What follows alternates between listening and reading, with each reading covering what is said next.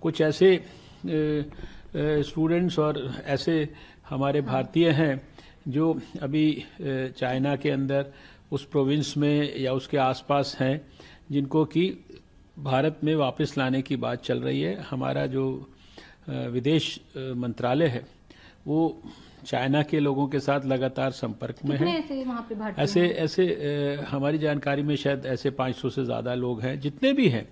वो नंबर्स इतना इम्पोर्टेंट नहीं लेकिन जितने भी हैं उन सबको भारत वापस लाने के लिए हमारी सरकार एक्टिवली जो है उनको चीन की अथॉरिटीज के साथ बातचीत कर रही है। बहुत जल्दी उनको वापस लाने की प्रक्रिया भी पूरी होगी।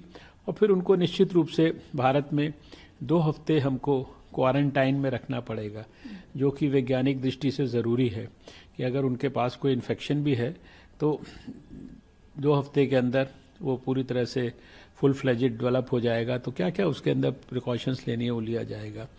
जब अ, अ, मैं समझता हूँ कि इतनी सारी जब सारा देश मिलकर प्रिकॉशंस लेता है और पैनिक वगैरह नहीं फैलता है तो बड़ी से बड़ी बीमारी भी हो उसको हम समय रहते कंट्रोल कर सकते हैं।